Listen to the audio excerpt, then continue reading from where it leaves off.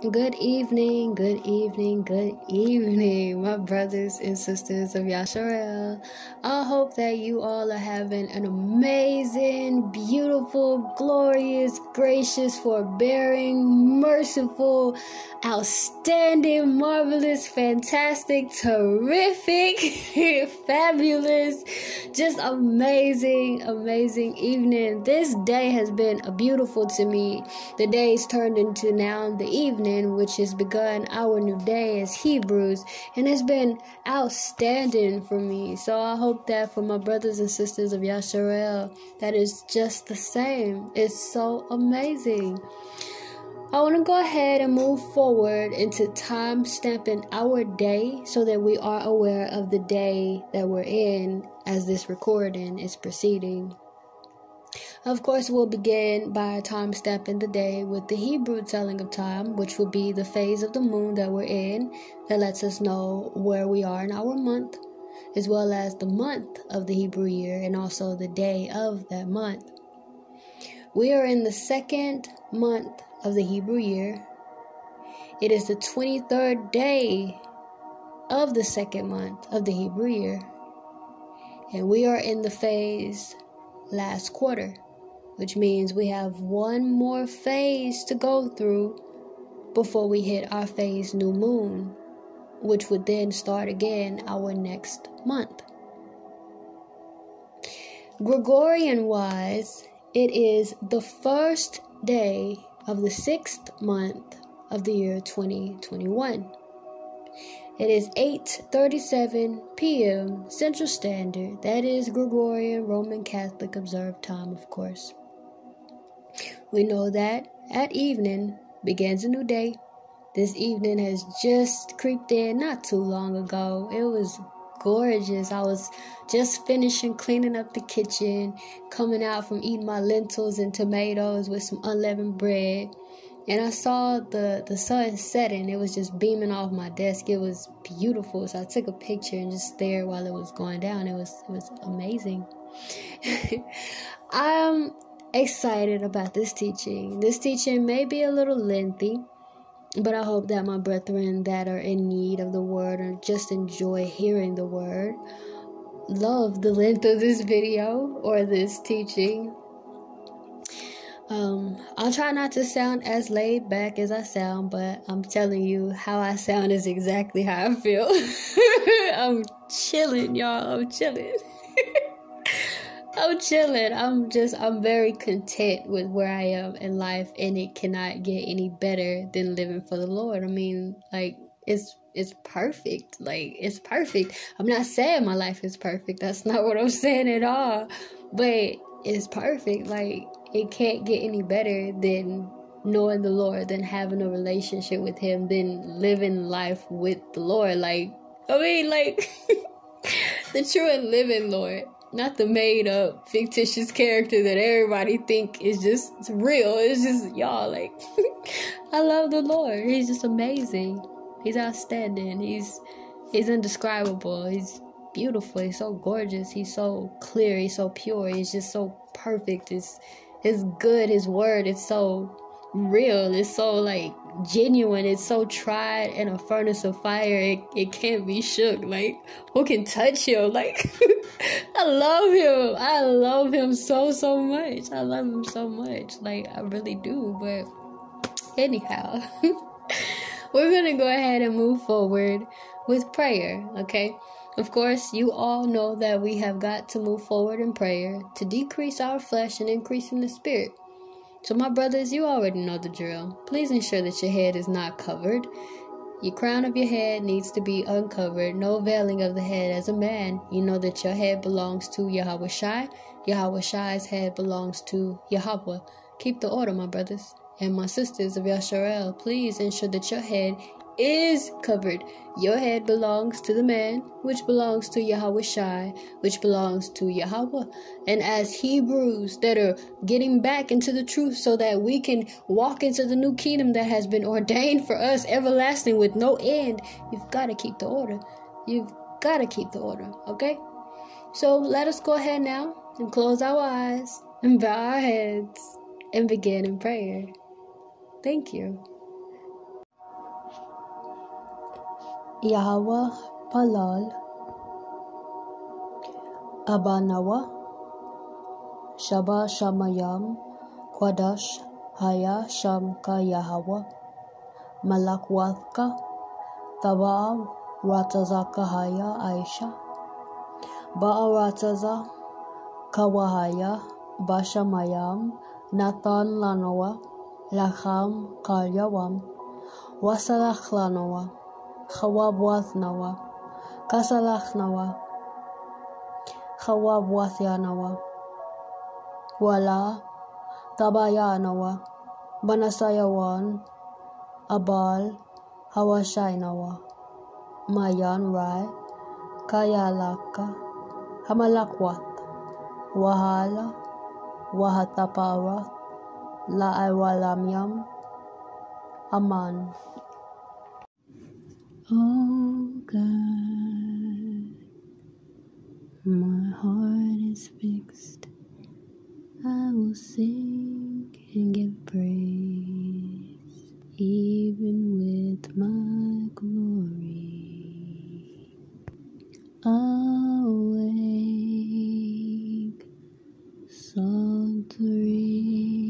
and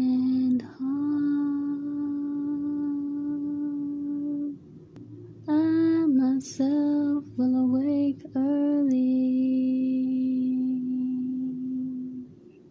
I will praise thee, O Lord, among the people. And I will sing praises unto thee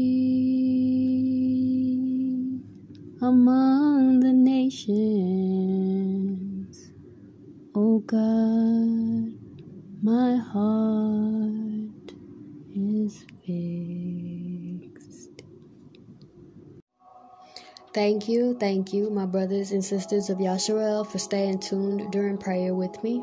You all know that I love me some prayer, so I do appreciate you all staying tuned during prayer. I did want to go ahead and also include that we are in the fourth day of the week. I did forget to mention in the initial introduction, so I'm mentioning it now. we are in the fourth day of the week. We're going to be moving over to the book of Luke, chapter 1, and we'll begin in verse 1. If any of my brethren are familiar with this chapter, you do know that there are about 80 verses in total. So this is a pretty lengthy chapter, and we will be reading this chapter in its entirety. There's some very valuable information in here. It touches on Yochanan HaMitzbiel Zadich, or John the Baptist, Saint John the Baptist. It touches on St. John the Baptist's parents, which is absolutely amazing. And then also, of course, Yahweh Shai and his mommy, which I absolutely love.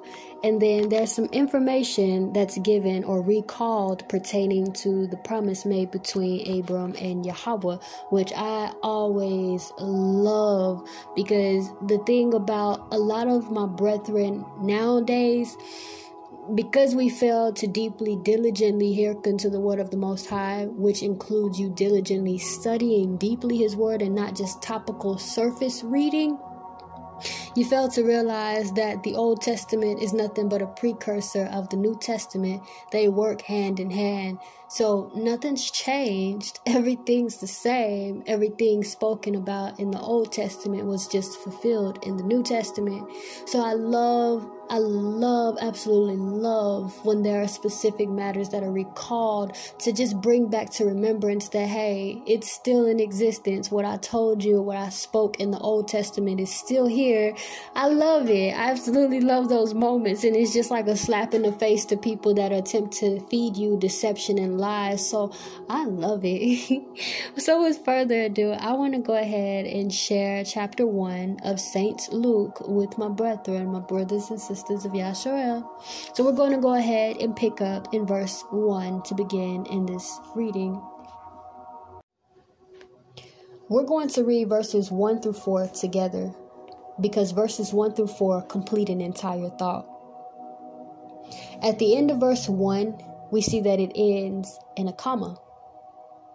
The end of verse 2 ends in a semicolon. The end of verse 3 ends in an additional comma, and the end of verse 4 ends in a period. So we know that this statement has come to its completion. In order for us to understand these verses in their entirety, we first need to read them the way that they are written here, biblical wise. We will then touch base on some terms that do not mean what we would think they mean in this time. We will be given what those terms mean in the time in which they were written. We will reread these verses and then we'll break it down. Verse 1 reads For as much as many have taken in hand to set forth in order a declaration of those things which are most surely believed among us, even as they delivered them unto us, which from the beginning were eyewitnesses and ministers of the word, it seemed good to me also, having had perfect understanding of all things from the very first, to write unto thee in order, most excellent Theophilus that thou mightest know the certainty of those things wherein thou hast been instructed. Off the top, we know that verse 1 has some terms and also phrases that are being utilized that don't mean the same thing that we would think they mean in in common era, the era that we're in right now. Okay? You have to take into account that this particular chapter is being written around 37 4 BC. This is way before our time, way before your great, great, great grandmother's time. You understand? So you have to take into account that there are some terms that are being utilized that don't mean what we would think they mean. If we go back over to verse 1, we see the first word in verse 1 is for as much. I know that the majority of my brethren are not utilizing words such as for as much. The word for as much is in equivalence with seeing that or taking into consideration. It's like an opening so that you're you're engaging with the person that you're speaking to or that you're writing to. That's what this for as much is symbolic of or stands as or is referenced as in our day and time. We have the word hand, which would not mean your left or your right hand. Obviously, remember, we use context clues as well. This word hand, in the way that this is being written and emphasized and completing of this thought, would mean authority or power. Then we move forward to the group of words to set forth. That would not necessarily mean what we would think it would mean in this day and time, only because of the context around it, as well as what's being spoken in this particular chapter. The group of words to set forth are basically, in other words, saying to put together or to broadcast. That's basically what those groups of words or that group of words is saying. And then the last word we have is declaration. declaration in this particular verse definitely does not mean what we would think it to mean in this day and time. If I ask my brethren, declaration, what is the first thing that comes to your mind when you hear the word declaration? it's definitely not narration or the telling of a story. So the term declaration in verse 1 means a narration or the telling of a story. So when you gain an understanding of what terms, groups of words, in particular words that are being utilized in biblical time, considering once again that we are in 37 4 BC during the writing of this particular this particular letter, this particular narration, part of the Bible, we have to take into account what these words will mean during that time. So now that we know what these words in specific are saying to us during the dating back of 37 BC, let us gain an understanding of what is being said. So I would try and move forward and read verses 1 through 4 one more time but with the words plugged in so that we see how it sounds if it were written in our time. Okay? Verses 1 through 4 would sound something like this Seeing that many have taken in authority to broadcast a narration of those things which are most surely believed among us, even as they delivered them unto us, which from the beginning were eyewitnesses and ministers of the word. It seemed good to me also, having had perfect understanding of all things from the very first, to write unto thee in order, most excellent Theophilus, that thou mightest know the certainty of those things, wherein thou hast been instructed. Now, when you gain an understanding of a term, a group of words, does it not give you a better understanding of what it is that you are reading? I will continually emphasize and reiterate this is why the Lord tells you to diligently hearken to his word. You can't be topical and like the surface when you're reading this word. You have to study it. It's deeper than what your physical eye can see. So now let us get an understanding of what's being spoken in verses 1 through 4. Verses 1 through 4 are basically saying, Since there are eyewitnesses of Yahweh's existence here from birth, putting together a narration, a story of Yahweh's time on earth as they're delivering the message of Yahweh I took in consideration and considered that it was good for me also too to let you know about this story give you an understanding of the story since I have an understanding of this very story from the beginning. I thought it was good that I do the same thing so that you have an understanding with surety the things that you are destined to do in the will of the Most High.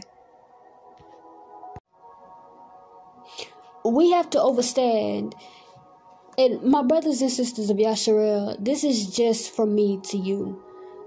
We have to understand that the story of Yahweh Shai is well beyond our years. Okay? Just as King Solomon has stated to us, as the Holy Spirit has bore witness of his conscience, we know that nothing is new under the sun.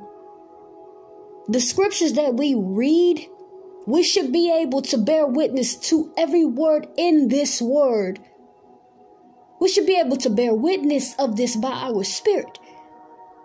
Because the words are speaking to our spirit.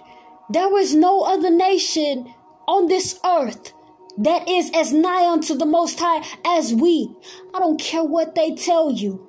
I'm not about to get into that. That is beneath me. I refuse to get into it. But you have to understand that this word is relatable. This man just told Theophilus that I thought it was good for me to tell you about the story of Yahweh Shai. The same way as eyewitnesses of Yahweh Shai have told his story. I thought it was good that I also tell you this story since I have a good understanding of it from the very beginning. Because I take into consideration that ling- lingo changes, things change. Things change. Words that I may use now will not mean what you would use them as in your time. So I'm going to give it to you according to the understanding in my time. The story not going to change. But I'm going to break it down to you so that you understand and comprehend what I'm telling you without changing the meaning of the story. So what I'm what I'm attempting to get to you, my brothers and sisters of Yasharel, you have to understand that this word is relatable. I don't care if you see words such as with a soul, for as much peradventure. This word is relatable. That's why I get amped up out of I don't child, I don't know what words can explain the fire and joy that arouses in my very spirit, in my inner range when I hear this word, because I can relate to it deeply. My spirit deeply bears witness, and when I tell you I would die for the word of the Most High, I would die for the word of the Most High because I can relate to this word. if it ain't nothing else that I can guarantee or promise you in this life, I can guarantee and promise you that this word does what it's intended to do. I ventured out and followed the Lord's voice out into the wilderness and allowed Him to lead me back with light.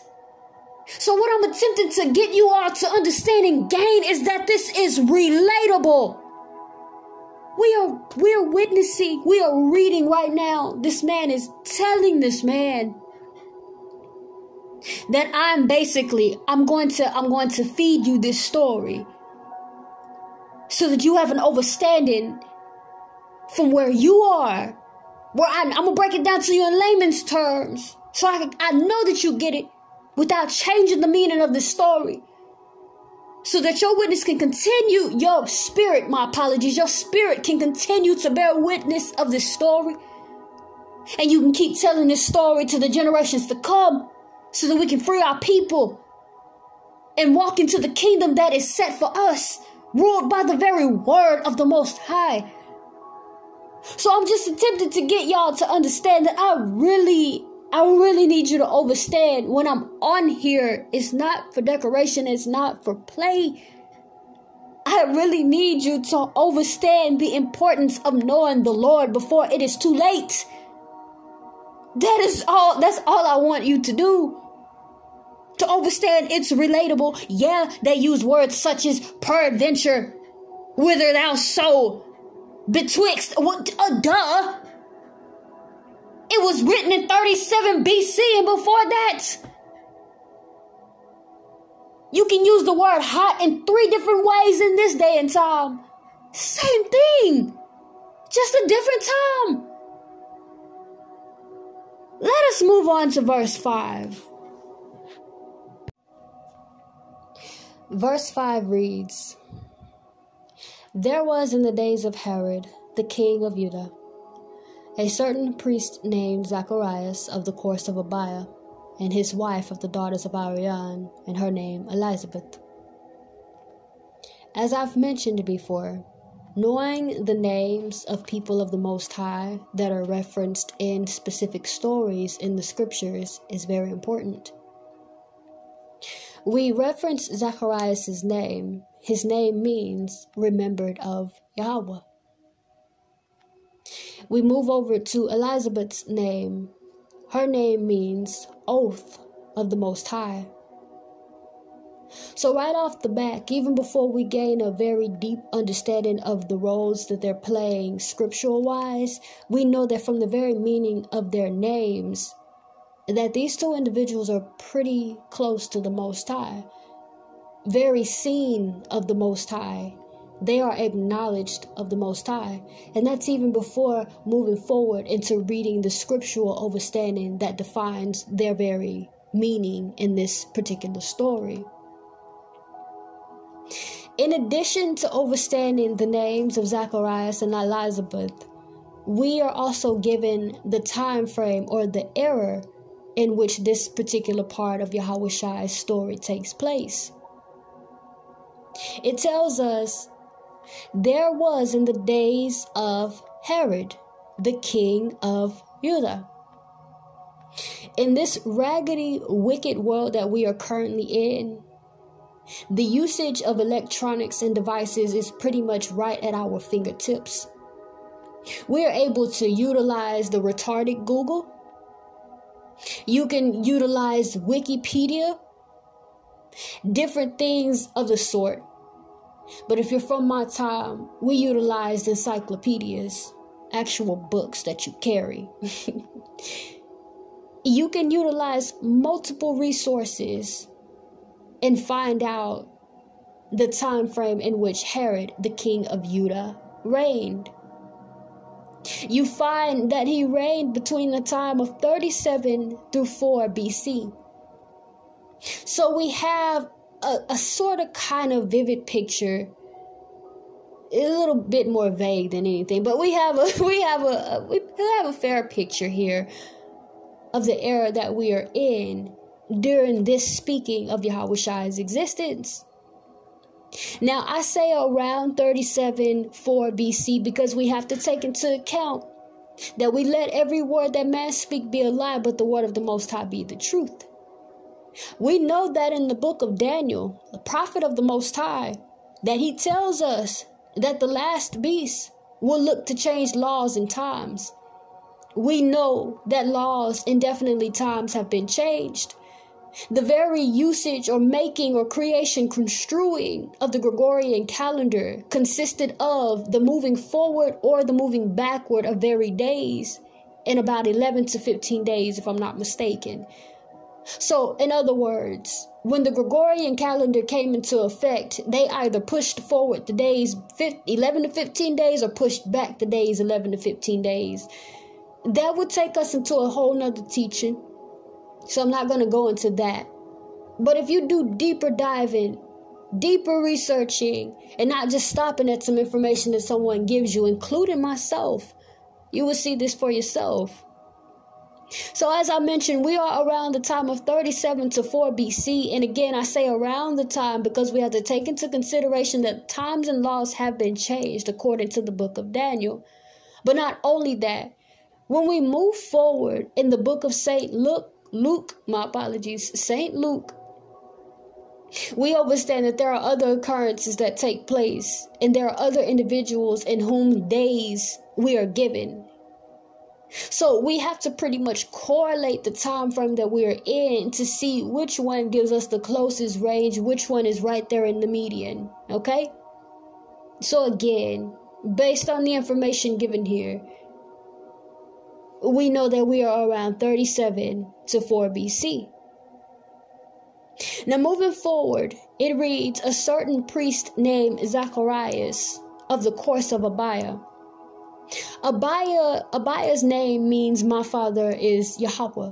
Okay, Abiah was the eighth in order of the priestly family whom King David divided into 24 classes. If you don't recall that story, you have to go back in the word in the time in which King David reigned, which would be the stories of 1st, 2nd Samuel, 1st, 2nd Kings. You would want to be around that time if you need deeper understanding of the dividing. But we move forward once again, reiterating that it says a certain priest named Zacharias of the course of Abiah so we know that this priest named Zacharias was only appointed a certain amount of days during Abiah's order of priestly priesthood. Okay? And then we move forward and it reads, and his wife of the daughters of Arian, and her name Elizabeth. We know who Arian is. That was Masha's brother. Arian was the he was the head of the priestlyhood. He was the first priest. So it's letting you know that this daughter Elizabeth, she descended from the lineage of priests. And then once again, we're speaking of a certain man named Zacharias who is a priest. So when you just break down this verse with just just verse 5 allowing the Lord's word to break down itself for you, we understand that their names indeed do have meaning. and that their relationship with the Most High is indeed a very close relationship these individuals are definitely acknowledged of the Most High because if she descends, descended from a priest lineage or a line of priests, and he is a priest, we know that these two kept the laws of the Most High. And we know that those that keep the laws of the Most High are considered to be what in the eyes of the Most High, you are? Righteous, blameless, blemish free We know this. So again, even before we get deeper into moving forward into out of and I'm so sorry, into verse six, we know what role these two are going to play. This is why I tell you, I'll keep reiterating. I don't care if it gets on your nerves. You have to hearken diligently to the word of the Most High. You can't surface read His word. He's deep. His days are like are like droplets to a sea. You can't number them. He's ancient of times. Can you tell him how deep the ocean is? Can you tell him how he congealed the depths of the sea? Can you tell him the circuits in which the raindrops fall through? The very circuit that the that the moon and the sun, the course that the moon and the sun runs. Can you tell him these things? So what makes you think that you can just you can just you can topically read surface read his very word? I'm telling y'all, it is a very, very relatable story. My brethren that feel me, that if you can feel me, glory be to the Most High. I got one at least And if you are that one, I am talking to you. You are the reason that the Lord is continually pushing me to get on here. Let's move forward into verse 6.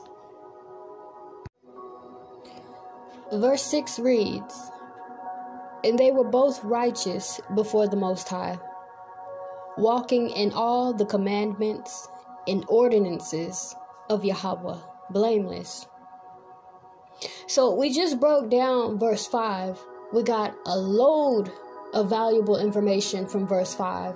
We know the error in which this particular telling of Yahawashi's existence is taking place. We know about Zacharias.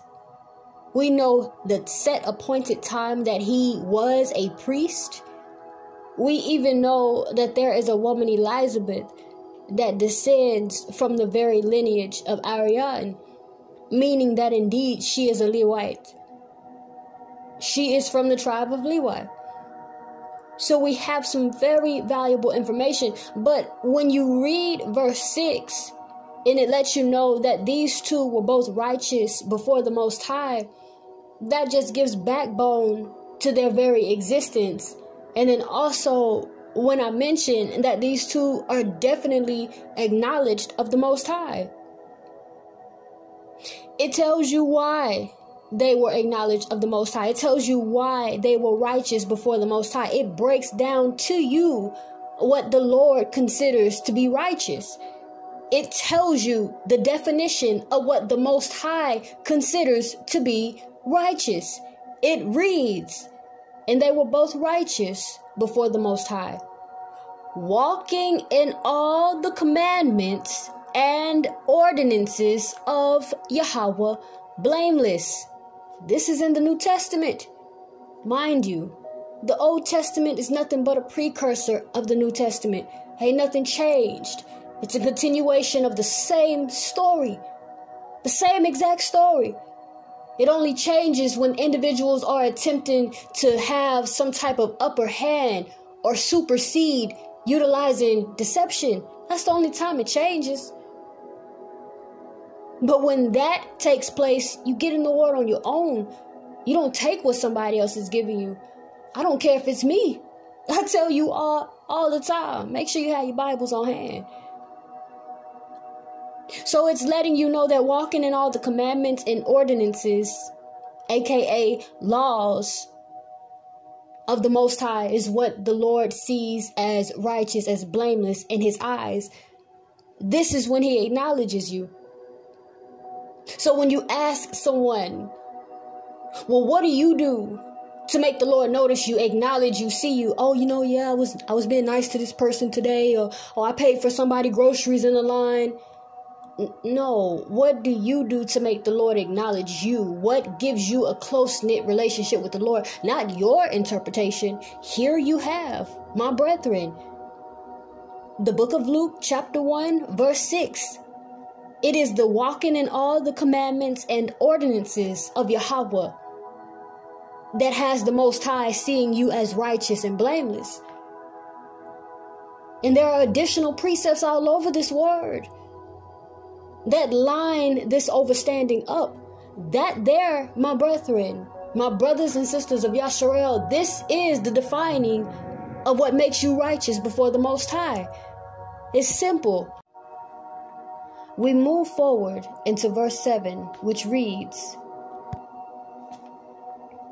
And they had no child, because that Elizabeth was barren, and they both were well stricken in years. And it came to pass that while he executed the priest's office before the Most High in the order of his course, according to the custom of the priest's office, his lot was to burn incense when he went into the temple of the Most High. So we'll pause right here, just to kind of give you a rundown in the case that any of my brethren are not following due to the terminology that's being utilized. This part is just basically letting you know that Zacharias and Elizabeth are old. They're elderly. They're old in age, okay? And in addition, it's letting you know that moving forward into this particular telling of this story, that Zacharias, his role or the role that he plays, his duty as a priest, is to burn incense when he goes into the temple of Yahawah. We move forward into verse 10, which reads And the whole multitude of the people were praying without at the time of incense. And there appeared unto him an angel of Yahawah standing on the right side of the altar of incense. We'll pause here for a moment. At this time, verses 10 through 11 are basically saying, At the time when Zacharias enters into the temple of Yahawah to light the incense, that there are a multitude of people outside of the temple of Yahawah praying. And by multitude, I mean so many people that you cannot number them. It's letting you know that when he enters into the temple of Yahawah, that an angel appears unto him on the right side of the altar. We move forward into verse 12, which reads And when Zacharias saw, he was troubled, and fear fell upon him. I want to pause to place a thought into the heads of my brethren. When we read about the occurrences of our forefathers, our foremothers, our prophets, that encounters angels sent from the Most High, they are all always scared, struck with fear, struck lifeless, have to be touched by that angel to be brought back to life.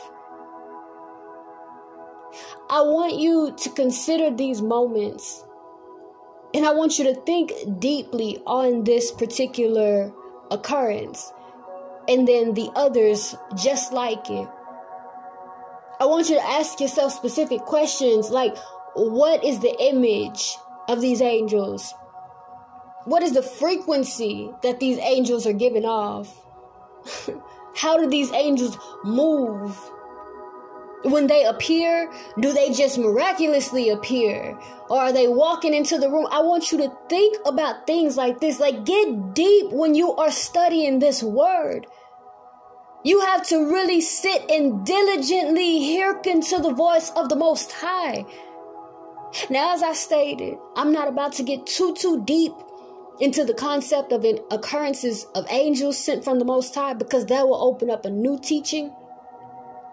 And if the Lord says the same, of course we'll touch on it at a later time. But we're strictly, we're touching on this specific teaching at this moment. We move forward into verse 13 that reads But the angel said unto him, Fear not, Zacharias, for thy prayer is heard, and thy wife Elizabeth shall bear thee a son, and thou shalt call his name Yochanan. This angel just told Zacharias that his prayer is heard. According to this particular chapter, this verse here in Luke, we know that his prayer is heard and we know the character of this very man. And if you refer back to Proverbs and even Psalms, we know that only the prayers of the righteous are the prayers that the Most High hears. That the prayers of the wicked, He does not even hear them. He does not even take second thought to consider them.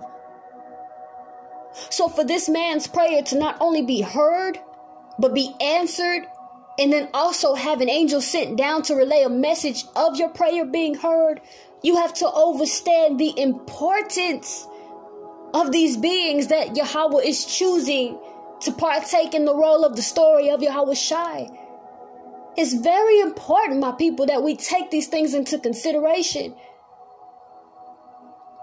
We move forward into verse 14, which reads And thou shalt have joy and gladness, and many shall rejoice at his birth. For he shall be great in the sight of Yahawah, and shall drink neither wine nor strong drink. And he shall be filled with the Holy Ghost, even from his mother's womb. that is deep. that is deep. Moving forward. And many of the children of Yasharel shall he turn to Yahawah, their father. And he shall go before him in the spirit and power of Elias, to turn the hearts of the fathers to the children, and the disobedient to the wisdom of the just, to make ready a people prepared for Yahawashi. Hmm. I want to break down verses 16 through 17 momentarily, briefly, rather, I should say. I apologize. It's telling you that Yochanan's very role, it just gave you what John the Baptist, what St. John the Baptist's role is here when he was on earth. This was his role.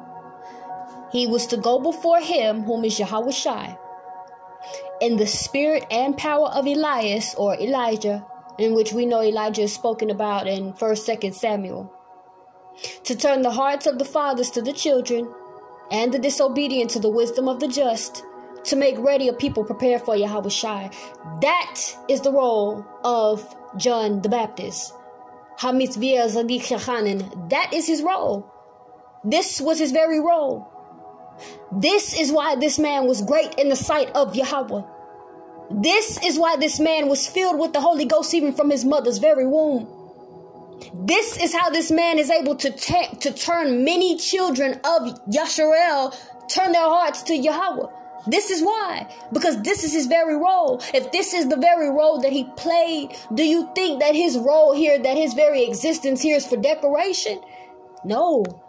He had a very big role to make ready people prepared for Yahawashi. Yahweh the very word of the Most High in a body on this earth. He has a very big role. You got to take these things into consideration. He didn't just give Yochanan to a, a mother, a whore, a harlot during this time, a woman playing the whore, a man who is of low degree. He gave this seed unto Zacharias, who is a priest, to be born from the womb of Elizabeth, of a lineage of priests. You got to understand this word. you gotta understand this is not nothing to play with, my brethren. You have to understand just the beauty, the authority, the power of the word of the most high, of his very his very order. You gotta understand this. And it's really oh my goodness. Let's move forward into verse 18. Verse 18 reads And Zacharias said unto the angel, Whereby shall I know this? For I am an old man, and my wife well stricken in years. And the angel answering said unto him, I am Gabriel, that stand in the presence of the Most High, and am sent to speak unto thee, and to shew thee these glad tidings. And behold, thou shalt be dumb, and not able to speak until the day that these things shall be performed, because thou believest not my words, which shall be fulfilled in their season. So basically, verses 18 through 20 are basically saying so Zacharias basically asked the angel Gabriel, What is going to occur for me to know that this is really going to happen? This angel tells him who he is. I'm Gabriel. I stand in the very presence of the Most High. And since you don't believe me and you need a sign, this is the sign. You're not going to be able to speak until Yochanan is brought forth, until Elizabeth gives birth unto this seed, this son that I've given you information on, that I've been sent to give you glad tidings on. That's basically what this is saying. Verse 21 reads And the people waited for Zacharias and marveled that he tarried so long in the temple. And when he came out, he could not speak unto them and they perceived that he had seen a vision in the temple. For he beckoned unto them and remained speechless. And it came to pass that as soon as the days of his ministration were accomplished, he departed to his own house. Ministration is basically a service that priests perform that that consists of basically prayer and sacrifices unto Yahawah. Okay? Moving forward into verse 24. And after those days, his wife Elizabeth conceived and hid herself five months, saying, Thus hath Yahawah dealt with me in the days wherein he looked on to take away my reproach among men. You have to take into consideration, remember, Zacharias is dumb right now. he can't talk. He can't talk. So it just advised us that Elizabeth has conceived during this time. It is now five months she's hiding herself. This man is still dumb, y'all. he still can't talk. Moving forward into verse 26, it reads And in the sixth month, the angel Gabriel was sent from the Most High unto a city of Galilee named Nazareth, to a virgin espoused to a man whose name was Joseph, of the house of David, and the virgin's name Mary. Now, verse 27 is a very important verse, okay? This verse here, it is it is the most simple explanation of the type of virgin that Mary is. Okay? So just like we've been given definitive on what the most high considers to be righteous and blameless in his eye using his word, we're also going to use the word of the most high to break down virgin in this verse. Now we're not going to get too deep into this particular teaching because this is actually going to be a teaching that will proceed forward in Luke chapter 3. That should be upcoming if the Lord says the same, of course. But reading verse 27, it reads To a virgin espoused to a man whose name was Yosef of the house of David, and the virgin's name Mary. This just gave you the definition of virgin, okay, in this verse, in this describing of Mary.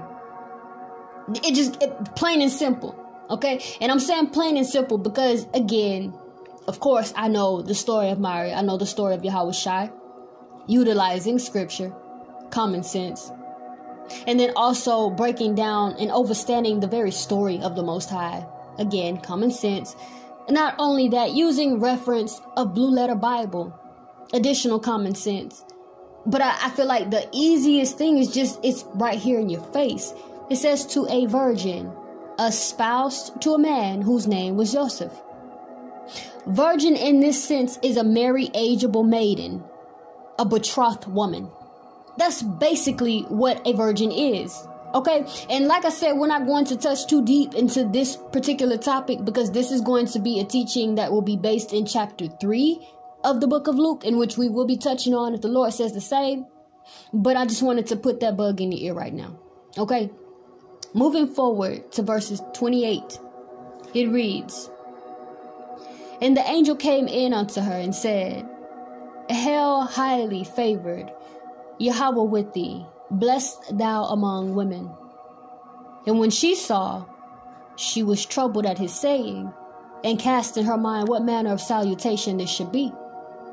And the angel said unto her, Fear not, Mary, for thou hast found favor with the Most High. And behold, thou shalt conceive in thy womb and bring forth a son, and shall call his name Yahawashi. Verse 32 proceeds forward and reads, he shall be great, and shall be called the Son of the Highest. And Yahawah the Most High shall give unto him the throne of his father David, and he shall reign over the house of Yahawah forever. And of his kingdom there shall be no end. Pause right here. Have we not briefly touched continually on the fact that the Old Testament is a precursor of the New Testament? Is not verses 32 through 33 a reiteration of the very promise between the Most High and King Dawood? We touched on the promise between Yahawah and King Dawood and the teaching of the southern and northern kingdoms. Let us go ahead and reference back in this very promise so that we can touch on something right quick. We're turning our Bibles to the book of 2 Samuel, chapter 7. We will read verses 12 through 16.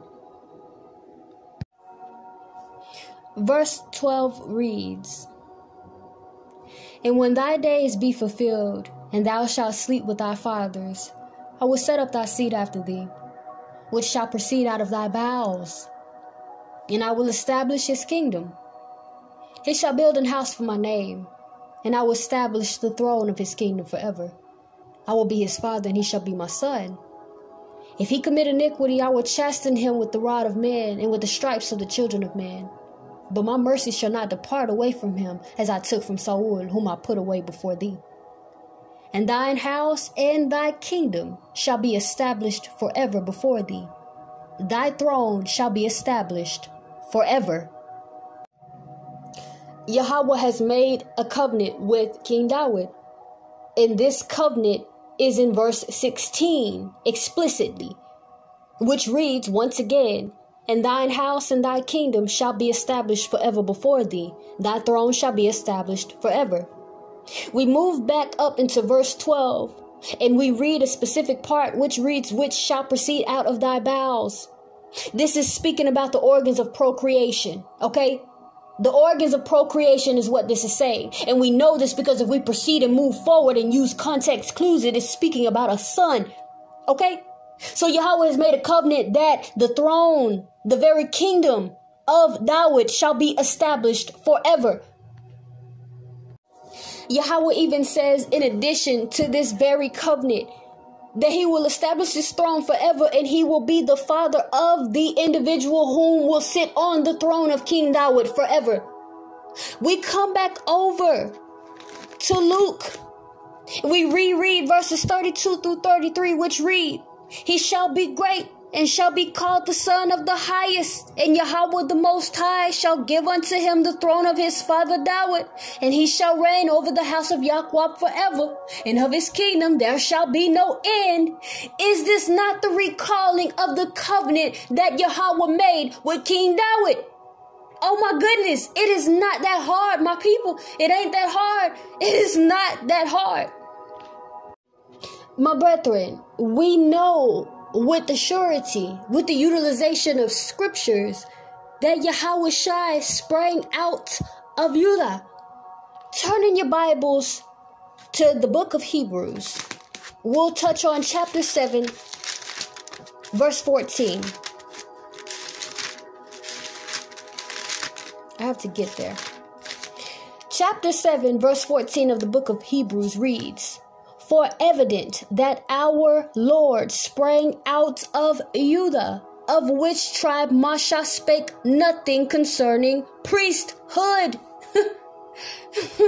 right here in your face. We know that with the surety utilizing scripture, that Yahawashi was not an angel.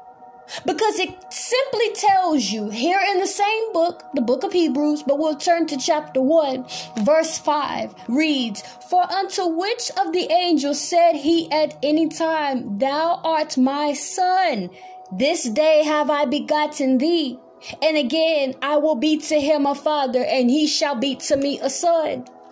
It is blatantly telling you Yahawah has never called an angel his son. So we know with the surety that Yahawashi is not an angel.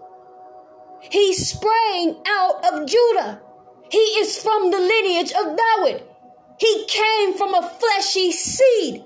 It blatantly tells you here in verse 27 to a virgin, a spouse to a man whose name was Joseph of the house of David, and the virgin's name Mary. My brethren, you have got to pay attention to these things so that these pre existing lies do not deter your overstanding of the word of the Most High, which is right here in your face, right at your fingertips. Let us move forward into verse 34. Verse 34 reads Then said Mary unto the angel, How shall this be, seeing I know not a man? And the angel answered and said unto her, The Holy Ghost shall come upon thee, and the power of the highest shall overshadow thee. Therefore also that holy thing which shall be born of thee shall be called the Son of the Most High. And behold, thy cousin Elizabeth, she hath also conceived a son in her old age. And this is the sixth month with her, who was called barren. For with the Most High nothing shall be impossible. And Mary said, Behold, the handmaid of Yahawah, be it unto me according to thy word. And the angel departed from her. And Mary arose in those days and went into the hill country with haste into a city of Judah, and entered into the house of Zacharias and saluted Elizabeth. And it came to pass that when Elizabeth heard the salutation of Mary, the babe leaped in her womb, and Elizabeth was filled with the Holy Ghost. And she spake out with a loud voice and said, Blessed thou among women, and blessed the fruit of thy womb. And whence this to me that the mother of my Lord shall come to me? For lo, as soon as the voice of thy salutation sounded in mine ears, the babe leaped in my womb for joy. And blessed she that believed, for there shall be a performance of those things which were told from Yahawah. And Mary said, My soul doth magnify the Most High, and my spirit have rejoiced in the Most High my Saviour. For he hath regarded the low estate of his handmaiden. For behold, from henceforth all generations shall call me blessed. For he that is mighty hath done to me great things, and holy his name, and his mercy on them that fear him from generation to generation. He hath shewed strength with his arm, he hath scattered the proud in the imagination of their hearts.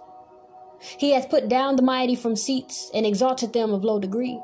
He had filled the hungry with good things, and the rich he had sent empty away. He had hope in his servant Israel in remembrance of mercy, as he spake to our fathers to Abraham and to his seed forever. One moment. Let us pause right quick. This is telling you. Verse 50. It reads, In his mercy on them that fear him from generation to generation. My brethren, what is it that instills the reverence, the reverential fear of the Most High in you? from generation to generation, from your child to their child to their child. What is it? It's the law of the Most High. It's the law of the Most High. In you not keeping the law of the Most High is you forgetting the Most High. When you out there stealing, out there being covetous, out there being a whoremonger, out there being homosexuals, out there being gluttonous, not keeping the Sabbath, treating your brethren with disrespect, belittling your very being. This is you forgetting the Lord. Because you're not taking into consideration that He tells us no, don't be gluttonous. No, don't be homosexual. Remember the Sabbath, keep it holy. That is you forgetting the Lord. So his mercy is on them that fear him from generation to generation. And in order for you to fear him from generation to generation, you've got to keep his commandments, keep his law, keep his statute, keep his word alive in you, and teach your children so that they can teach their children. You train up a child in the way that you want them to go, and they will not depart from that way. I guarantee you. I guarantee you. Because the word said it. That's how I know. But then we move on down. Verses 54 through 55 read He hath in his servant Yasharel in remembrance of mercy, as he spake to our fathers, to Abraham, and to his seed forever. This is basically saying Yahawah has helped Yasharel through the remembrance of his mercy, just as he promised he would to our forefathers and to Abraham. Yahawah has not forgotten about Yasharel. This is blatantly telling you the very woman that Yahawah chose to bear the seed of Yahawashi. She's letting you know he ain't forgot about Yasharel. This ain't about any other nation. it's not. He ain't forgot about us. Now, um, it's unfortunate that a lot of us have forgotten about him, but he ain't forget about us. His word does what it's intended to do. His word is his very covering. He keep his word. He exalts his word above his name. He is a righteous being. His righteousness is prophesied and spoken about from our very prophets, from the Old and New Testament. He forget about us. That's basically what it's telling you. I want us to turn over to the book of Isaiah and touch on chapter 25 and verse 9, which reads And it shall be said in that day, Lo, this our Creator, we have waited for him, and he will save us. This Yahawah, we have waited for him. We will be glad and rejoice in his salvation. We move over to the same book, chapter 40 of Isaiah, verse 8, which reads The grass withereth, the flower fadeth, but the word of our Creator shall stand forever. We move over to chapter 45 of Isaiah, same book, verses 4 through 6, which read For Yahawah my servant's sake, and Yasharel mine elect, I have even called thee by thy name. I have surnamed thee, though thou hast not known me. I, Yahawah, and none else, no deity beside me. I girded thee, though thou hast not known me, that they may know from the rising of the sun and from the west that none beside me. I, Yahawah, and none else. We move over to the last precepts that I want to touch on found in the same book, Isaiah, verses 14 through 16 in chapter 49 read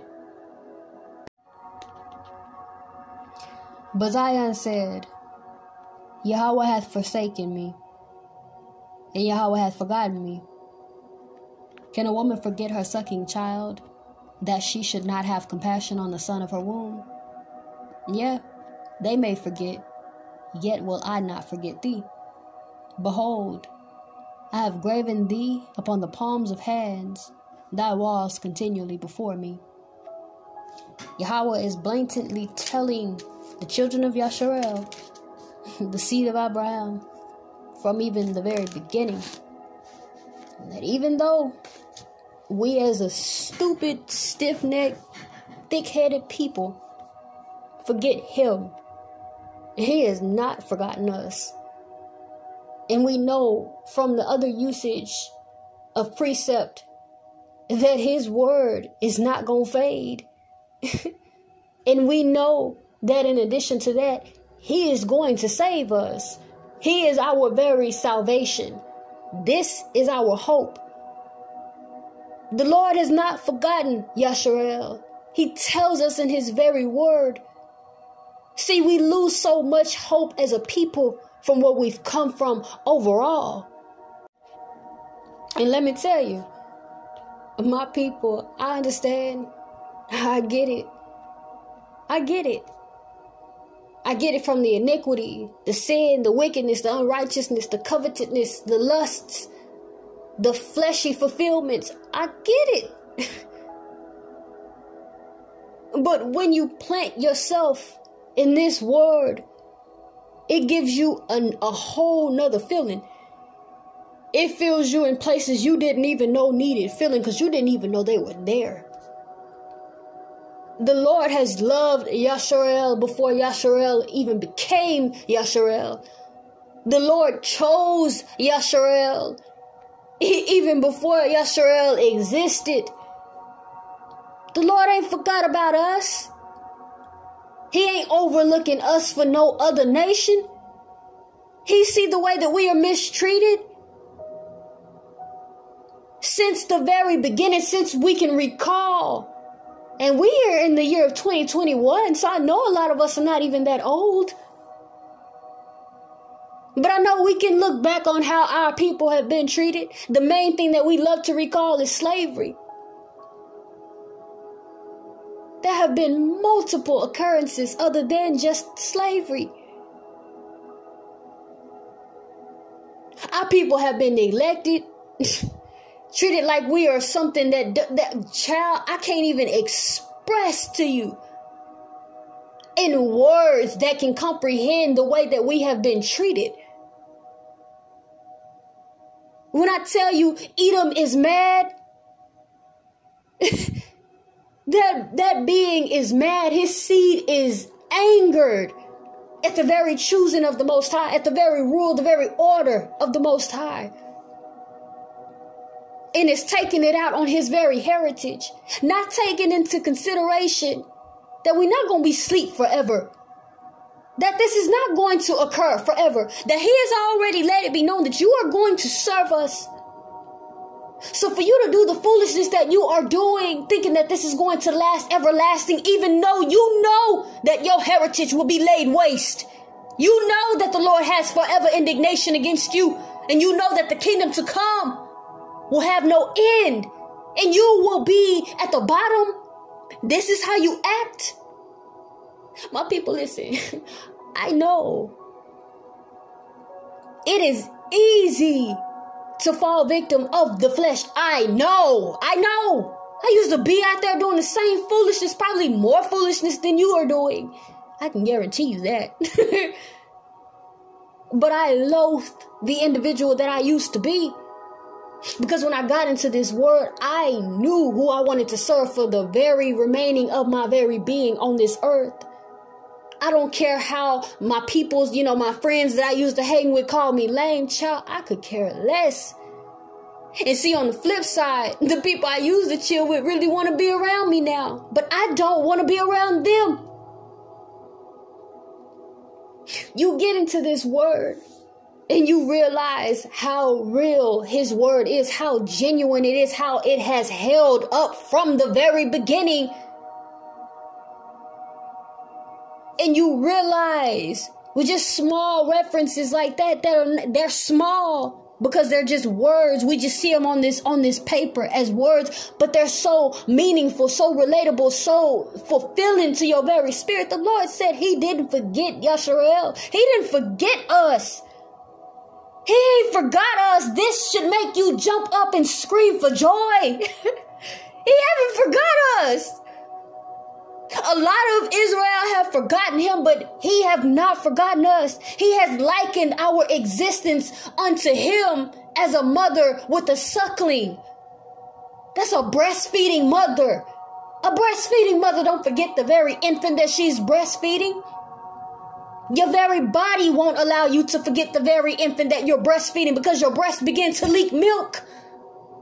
Goodness gracious, this Lord loves his people. And what's so fulfilling about his love, it don't matter what you do. You turn around and you repent for the things that you have done and begin to walk out the will of the Lord and just worship him by, by following his commandments and his statutes.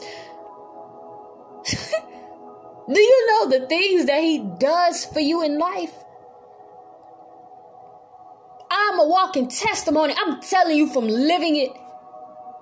I don't know how else to speak the, the joy that I find in knowing the Lord and Him knowing me. Yo, He has not forgotten us. He ain't forget us. He said He did not forget us. he said He didn't forget us, my people. Let's move on. Verse 57 in the book of Luke, chapter 1 reads and it's actually 56. My apologies. Verse 56 reads And Mary abode with her about three months and returned to her own house. Now Elizabeth's full time came that she should be delivered, and she brought forth a son. And her neighbors and her cousins heard how Yahawah had shewed great mercy upon her, and they rejoiced with her.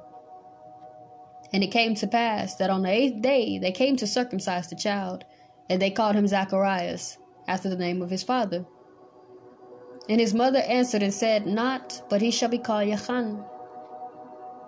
And they said unto her, There is none of thy kindred that is called by this name. And they made signs to his father, how he would have him called. And he asked for a writing table, and wrote, saying, His name is Shechanan. And they marveled all. And his mouth was open immediately, and his tongue, and he spake and praised the Most High. And fear came on all that dwelled round about them. and all these sayings were noised abroad throughout all the hill country of Judah. And all they that heard laid up in their hearts, saying, What manner of child shall this be? and the hand of Yahawah was with him. Glory be to the Most High. Now, these next remaining verses that will complete this chapter are a beautiful fulfilling and recalling of the promise that Yahawah made unto Abraham. So, verse 67 reads And his father Zacharias was filled with the Holy Ghost and prophesied, saying, Bless Yahawah the Most High of Yisrael, for he hath visited and redeemed his people, and hath raised up an horn of salvation for us in the house of his servant David, as he spake by the mouth of his holy prophets, which have been since the world began, that we should be saved from our enemies and from the hand of all that hate us, to perform the mercy to our fathers and to remember his holy covenant, the oath which he sware to our father Abraham, that he would grant unto us that we, being delivered out of the hand of our enemies, might serve him without fear, in holiness and righteousness before him all the days of our life. And thou, child, shalt be called the prophet of the highest.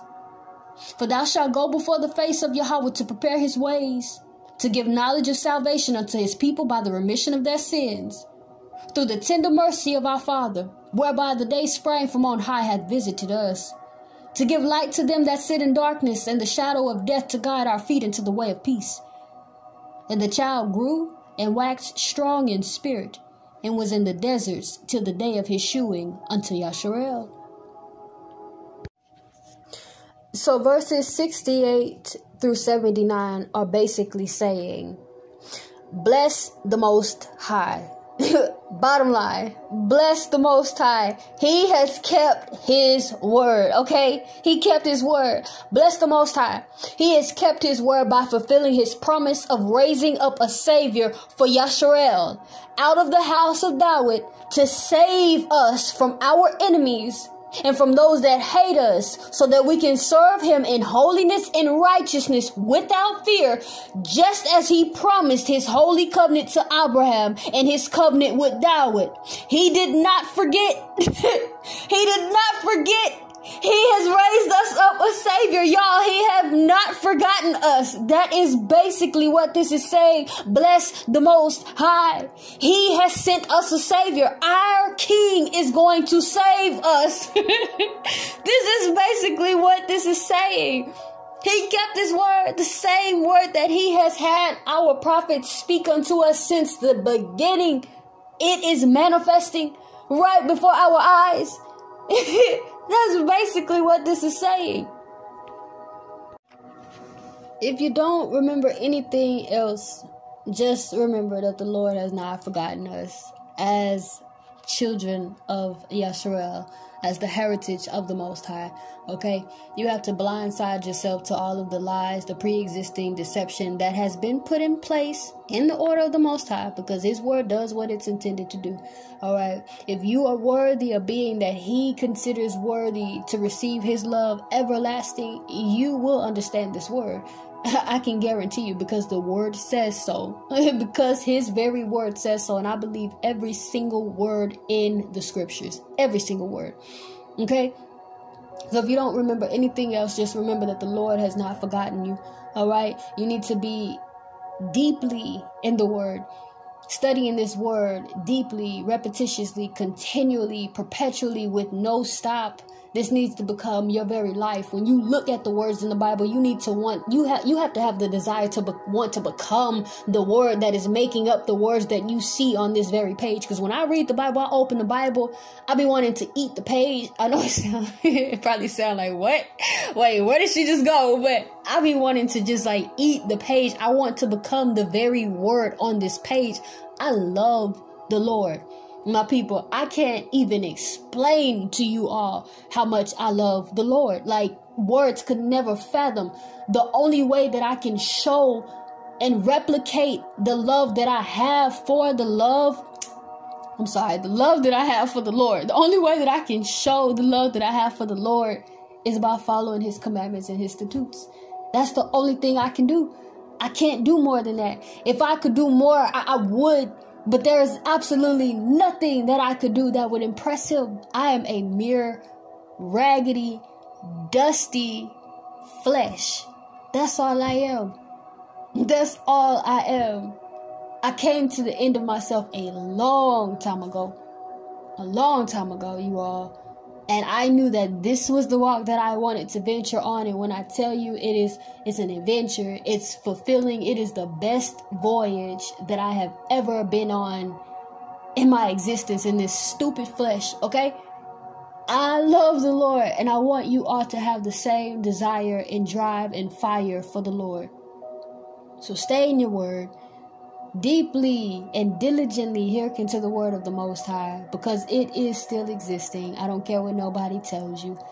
And Yasharel, that is the 12 tribes of Yasharel, he have not forgotten us. Our Savior, Yahawashi. He is for the children of Yasharel, not the whole world. As Yahawah wills, we will be back on to touch on an additional teaching that will be just as illuminating. but I'm about to go in here and go eat some lentils and tomatoes and unleavened bread and some potatoes. And hopefully, if my lamb chops have thawed out, I can go ahead and season and put them into the oven to try and cook those as well. But I'm going to go ahead and upload this teaching. And I do hope, once again, that my brethren of Yisrael enjoy. As always, repent, for the kingdom of heaven is at hand. Never cease prayer, bind and loose, and always live ready. I will talk to you all as Yahawah wills. Bye.